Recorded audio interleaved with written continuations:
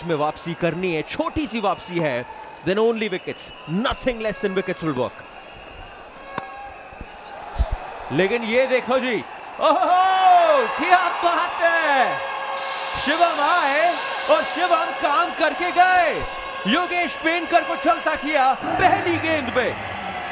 और अच्छी कैच हुआ प्रदीप द्वारा।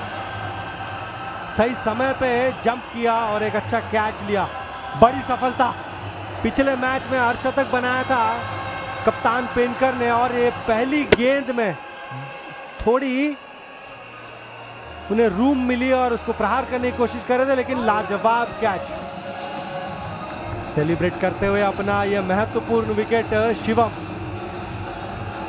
टीम खुश टीम के ओनर भी। फिर से शिवम।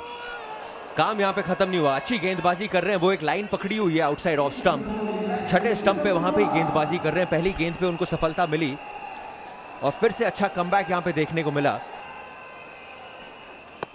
सो अभी भी जिस तरह का टारगेट चेस कर रहे थे, उनका बड़ा इंपॉर्टेंट रोल रहने वाला था, क्योंकि हमने ये लो स्कोरिंग मैचेस देखे हैं। कितने इंटरेस्टिंग हो जाते हैं, क्योंकि छः ओवर में 35 रन थे जब कोलकाता की टीम बैटिंग कर रही थी। लेकिन शिवम का पहली गेंद पर उन्होंने विकेट ले ली। सामने अशरफ अब बल्लेबाजी करने आए हैं।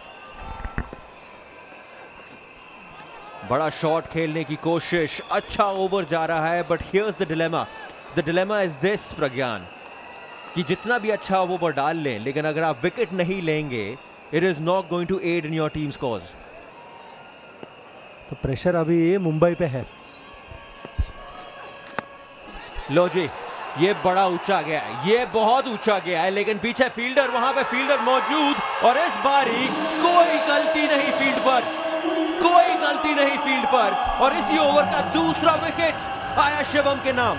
देखिए, ये जो दबाव बनता चला जा रहा है ना, ये हम बात कर रहे थे कि जो छोटे स्कोर होते हैं ना, ये ये बड़ा डिलेमा में डाल देते हैं चेस करने वाली टीम को।